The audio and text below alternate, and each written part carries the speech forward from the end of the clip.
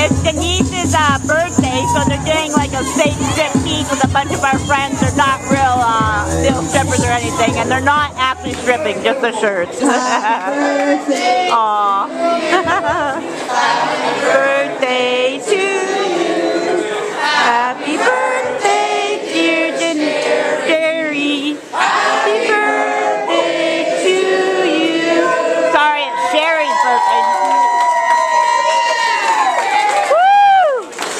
It's Sherri's birthday, not Janice. I got the name wrong. Sorry, guys.